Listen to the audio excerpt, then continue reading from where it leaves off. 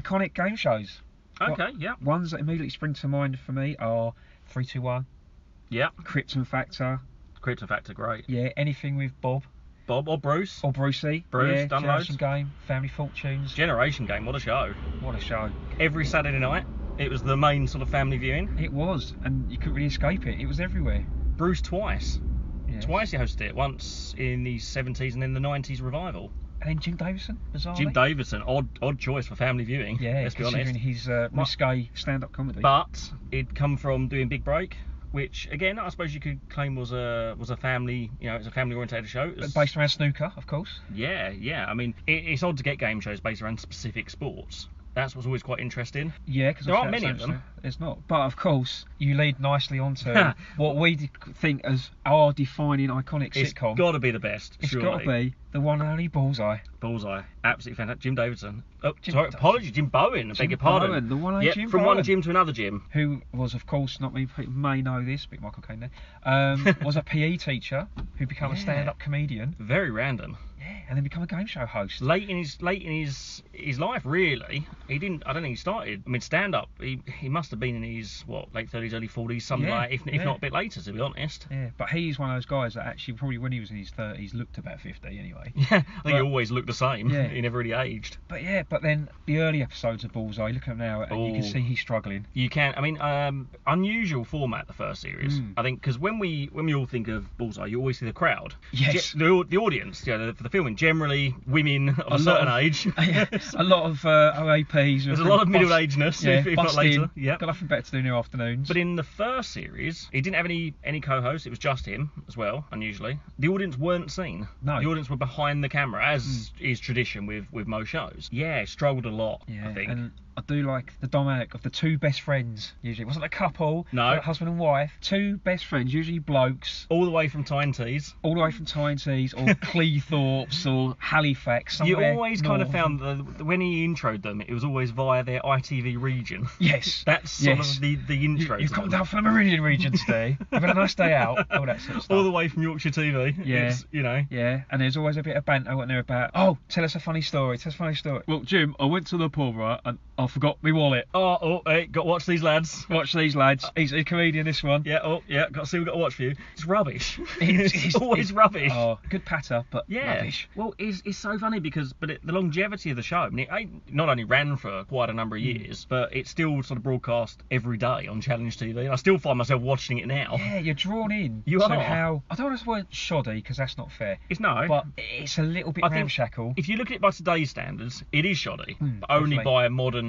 modern standards of game shows now. You know, but also it's it, the prizes, they're hilarious. yeah. I But mean- again, very high of the late seventies, early I eighties. mean, at, you know. the, at the time, a hostess trolley Hostess Trolley was a great one. the middle class aspiration of the pro of the pro, wasn't it? If of you, if you, the working man. if you had a hostess trolley, you'd do well. Yeah, You and know, if you had a Teasmade and Oh. a hostess trolley, you were king of your street. I mean, you know, you chuck in some of the things about uh, a, a, a cassette playing hi-fi stereo. Oh, a Philips cassette player. Yeah, a 14-inch portable TV with remote. I mean, in the latter days, you know And, what I mean. and we'll throw in the plug-in aerial as well. the plug you don't have to sort of screw it, uh, to do do yourself. Yes. But of course, I mean, as as everyone will know from Bullseye, it's always about the speedboat Always. or, or the Two- caravan. Two blokes who know each other from the pub, Yeah. from Birmingham, Yeah, winning a speedboat. yeah. Dave and Barry from Wolverhampton winning a speedboat, going, uh, what we gonna do with this then? Although that that said, I did read something quite recent actually, and this, is only uh, literally this year that I read this. The the speedboat that was on the show generally wasn't the one they went away with.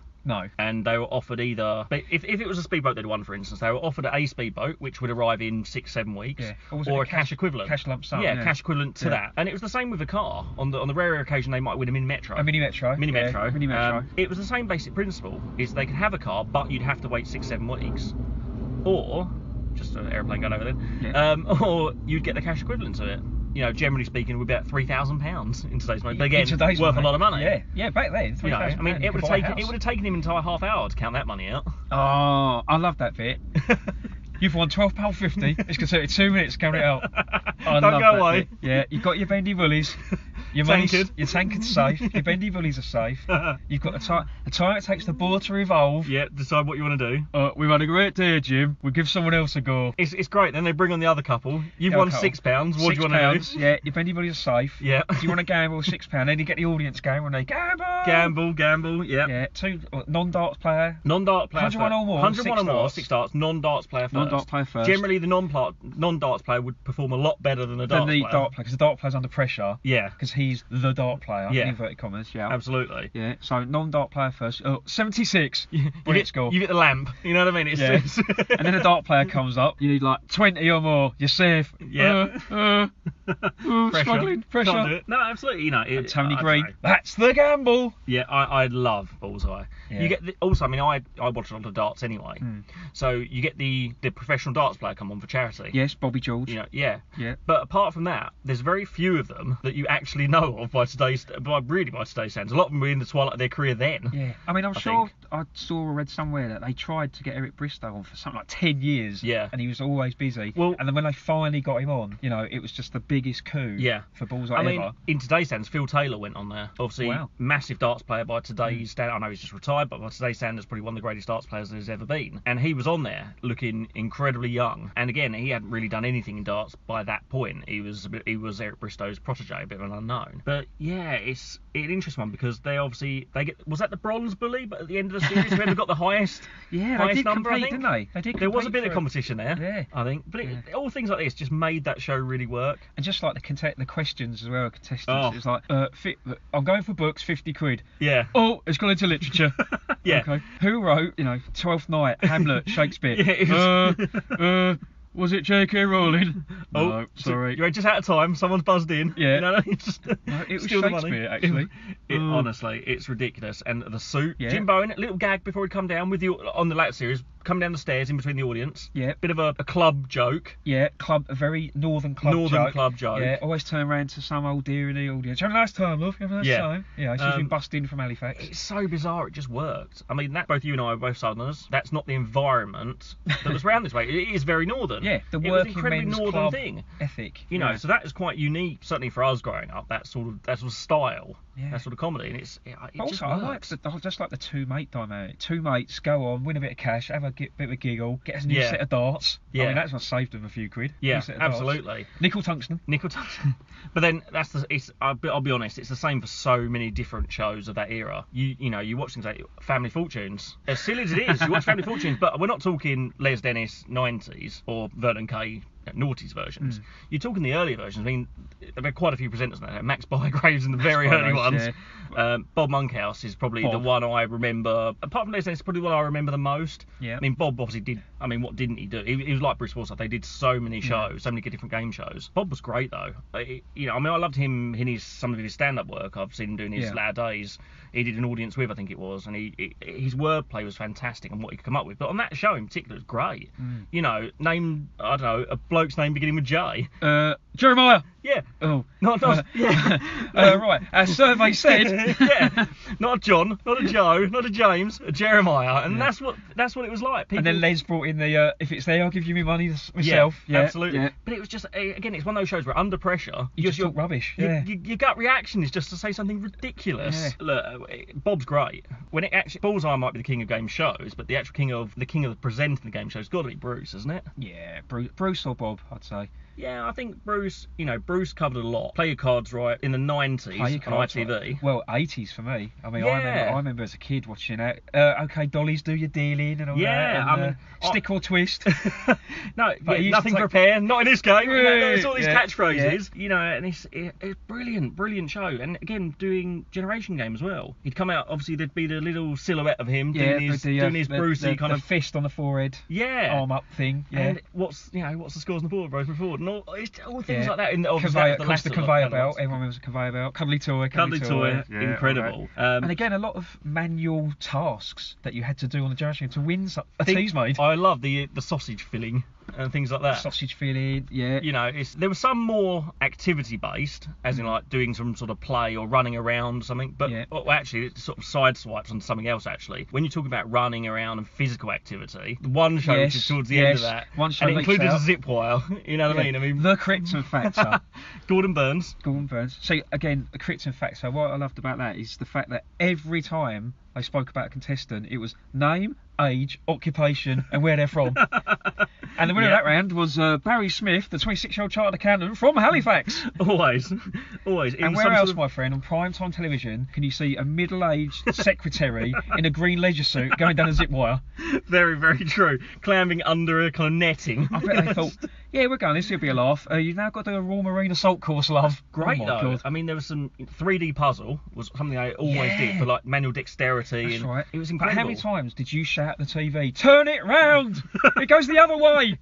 all the time, all the time. It was so infuriating. Yeah, the quick fire round, take points away if you got it Yeah, the watching the video and naming, well, answering questions on it, but you didn't know what they were going to ask. No. You had to watch the entire thing and just try and remember it as much as possible. What colour wellies was the man wearing? Uh, I don't know, Yeah. I was looking at the car. What number on the door was next to the one he actually went to? Yeah. It's just ridiculous things like that. Oh, and I'm afraid to say that Barry Smith, the 26-year-old chartered accountant from Halifax, has uh, has lost. Am I right in saying that they knocked someone out in that? Am I right in that or not? There was four contestants, I think. Four, and they did the head-to-head in shadow.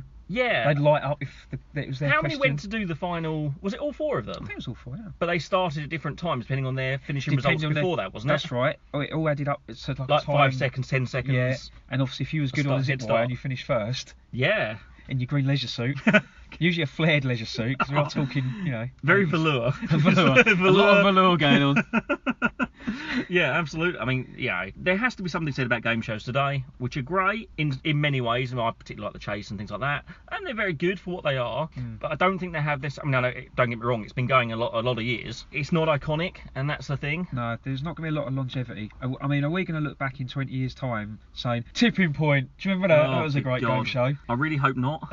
so there's just something about, I mean, 70s and 80s game shows that just work.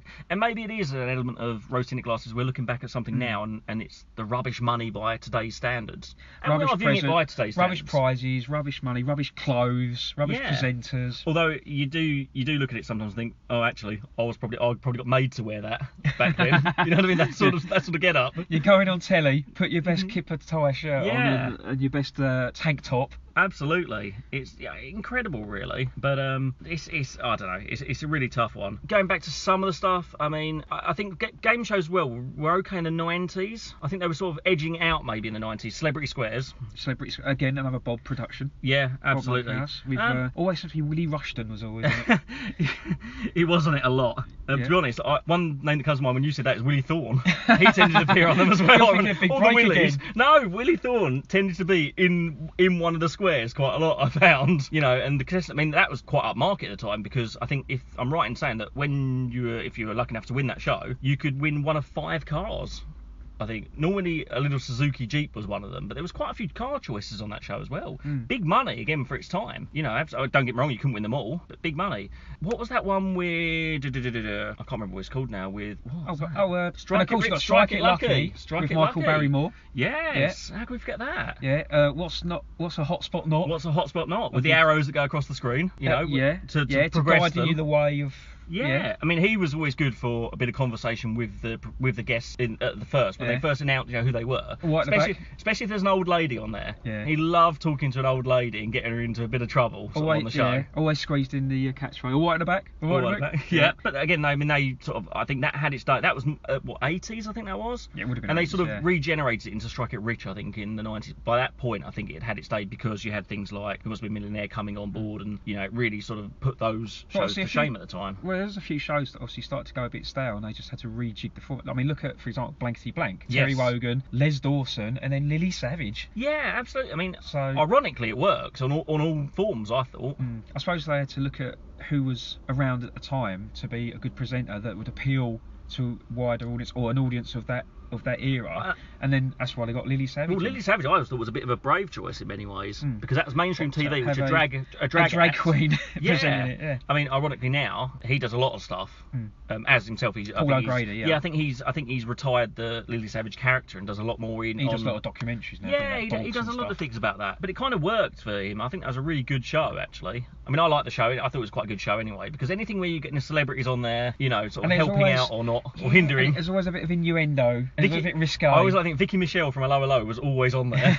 so she was one of those, that, and it would always be sort of commented on because she was doing Hello Hello and stuff at the time. So Yeah. the jokes would be ongoing with her, or yeah, with her and stuff like that. And great show. Yeah. Also, I mean, catchphrase as well with the, the genius that is Roy Walker. There are Another many other very versions. Sunday tea time. Many other versions of that show since, which again are all on challenge, but nowhere near as good. Nowhere near as good. Because again, it, a lot of times the host makes it like Roy Walker. He just made Yeah, that show. absolutely. It was just his gentle sort of nature. He wasn't rude. He wasn't crude. His soft Irish lilt. Yeah, um, would laugh a lot. He'd laugh at the answers. Everybody and- laugh at the answers. Why? Yeah. What's Mr. Chips doing now? It's like uh, sawing a piece of wood. Uh, no. But that's it. It was a catchphrase. I mean, where some of these good, catchphrases, but it's not right. It's good, but it's, It's some of these some of these catchphrases people are coming out with. Again, it's it's that thing about under pressure on a game show. I think. Mm. Yeah, some of the catchphrases they come out with, like you say, sawing a piece of wood.